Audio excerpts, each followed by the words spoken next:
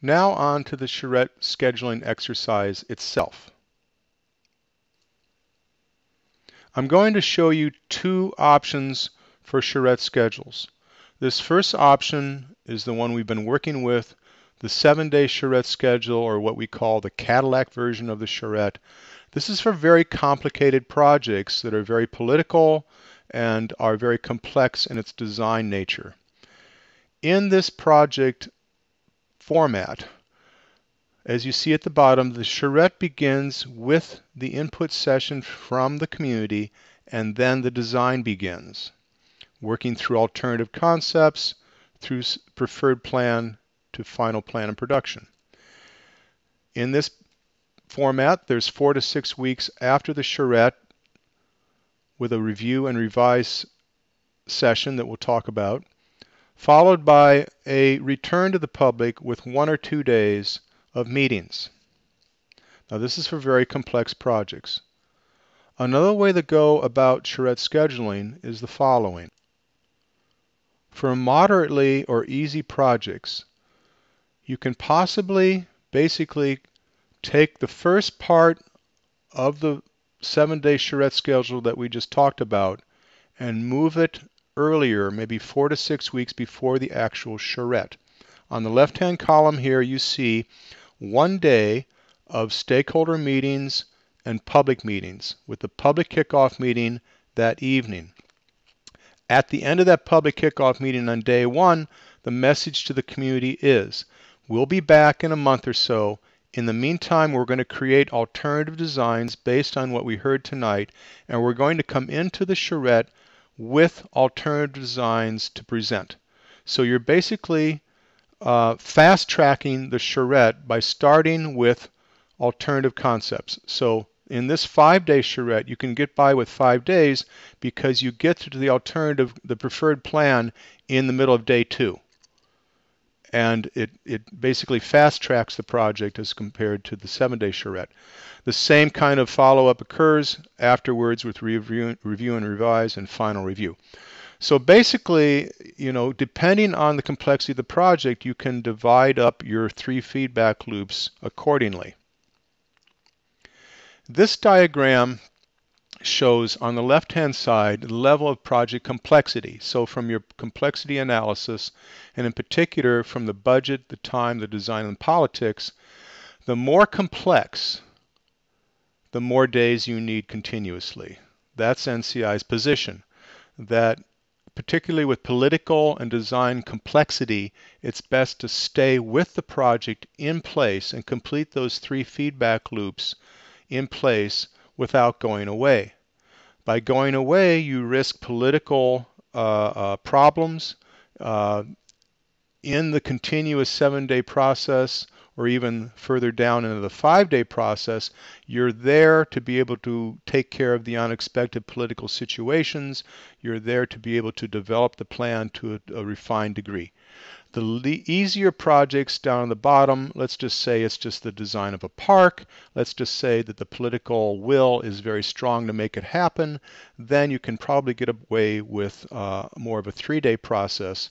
I'm not even sure we would call that a charrette uh, we would call probably a workshop, but nonetheless, the three feedback loops find their way into every one of these processes.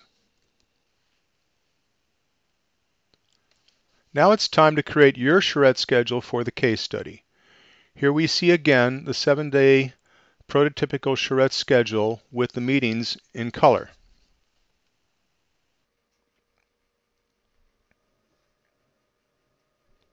Here we see a charrette schedule created by a team in an NCI course. It's made up of post-it notes of different colors.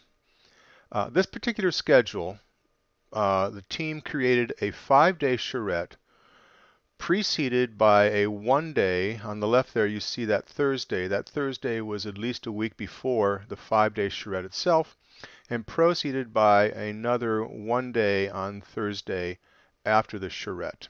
You'll see here also uh, the budgeting that takes place on the bottom, showing the number of team members that are present, uh, the people who are being paid uh, at each day of the charrette, and an estimated budget for their labor.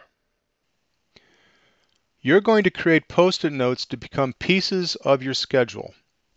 So the first thing that we instruct is for you to take small yellow post-it notes and make one for each public meeting in the charrette.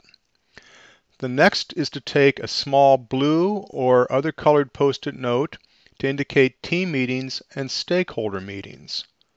So we're going to refer to the stakeholder analysis to find your stakeholder meetings for your charrette. Here you see, remember the stakeholder analysis that you did early in the course. You're going to look in the final column here that says charrette preparation, and wherever you've indicated separate meetings, you need to make a small blue post-it for each one of those separate meetings and name the meeting. Next, you're going to create larger green colored post-its or some other color that you have to indicate each phase of the charrette process. The vision phase, alternative concept phase, preferred plan phase, plan development phase, and production phase. Here we have them. These are the five phases of the charrette process.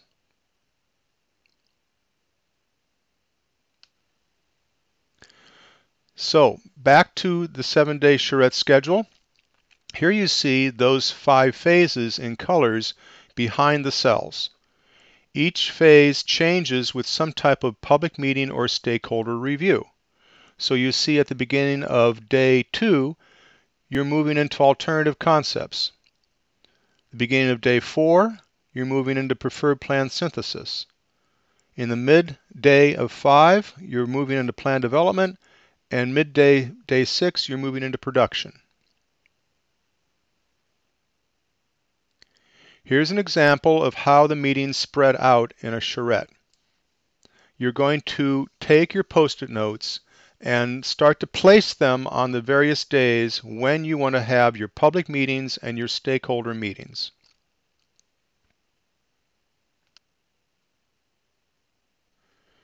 Here again is the example from one of our trainings. This team decided they would have a five-day charrette, which is in the middle of the schedule here, starting on a Thursday, ending on a Monday. The charrette was preceded by a one-day set of meetings and public meeting, maybe a month ahead of time, and proceeded by another public meeting to wrap up the process maybe a month or so later. So this team used different colored post-its. It's the post-its they had uh, at their disposal. Uh, you can look through and see how they paced their work. You need to create your own schedule according to your uh, case study. Now down on the bottom, notice the budgeting. The bottom you see team members, the uh, second to the last row. This is the estimated number of people that will be at this particular charrette paid for a day of work. So here you see uh, one day they have three people there, another day they have five people. Now these are not staff. This is not volunteers. These are people who are paid, paid consultants. The bottom number is the estimated amount of money that you would pay uh, for the labor plus travel to get there and lodging. We gave this team the number of $1,600 per person per day for time, uh, travel, and lodging. Uh, this whole thing ended up being about $75,200. Now remember, you have to get your own budget numbers. $1,600 a person a day may work in one region, may not work in another region. The main thing is to try and estimate how much you're going to have to pay people to be at the charrette and then total up to a total estimated budget number.